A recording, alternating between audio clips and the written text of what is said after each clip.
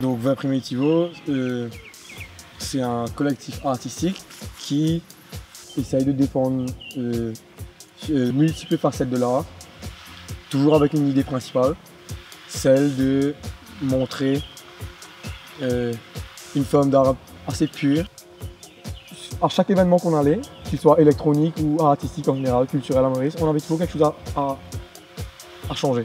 Un petit détail qui nous dérangeait, se disait peut-être qu'on devrait mettre notre touche à nous. Et bon, on n'allait pas faire que des événements, et qu'il fallait aussi à côté de ça développer toute une, tout un collectif, une plateforme où il y a des artistes qui suivent en général à plein temps la philosophie de l'événement. Euh, la soirée parfaite, moi déjà j'adore commencer les, événements très tôt. Pour moi je pense que le, mieux c'est juste après le déjeuner, vers 14h. C'est en général tous les primitivos commencent à cette heure-là.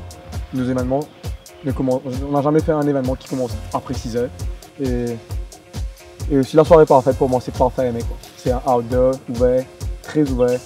Le moment précis où je me rappelle, c'est la première fois que j'ai joué à un événement public en boîte, c'était Nos Enfants Terribles. Pour moi, le, le DJ qui va jouer en soirée, c'est comme l'artiste qui va en plein en galerie. Ça peut se faire en pleine journée, ça peut se faire avec une bouteille d'eau et un déjeuner avant. Pas forcément dans les petites heures du matin avec euh, des cachets dans la tête. quoi. Mixer ne m'empêche pas de vivre une vie saine. J'ai jamais été quelqu'un qui fait des brouillons ou quoi. J'ai toujours eu l'idée à l'instant présent. Quand, quand j'ai une idée dans la tête, par exemple, et que je dois produire ça, je, presque tous les jours, euh, presque tous les deux heures, je vais penser à ce truc. Je me dis, faut qu'un jour je commence à réaliser ce truc. Il y a une idée que j'ai eue il y a genre une semaine de cela, et tous les jours je me dis, ouais, fais-le comme si tu le dessiner, et et même si je vais garder au final ce dessin pour moi, je vais recevoir une énorme satisfaction d'avoir accompli quelque chose. Mais euh, c'est plus la réalisation qui me plaît que le résultat final. C'est plus le moment que j'ai pensé dessus, euh, ce que j'ai fait entre, qui était vraiment euh, génial comme sentiment.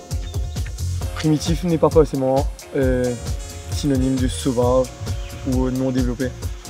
Et que c'est plutôt primitif encore une fois dans le sens pureté, sans faire trop, naturel.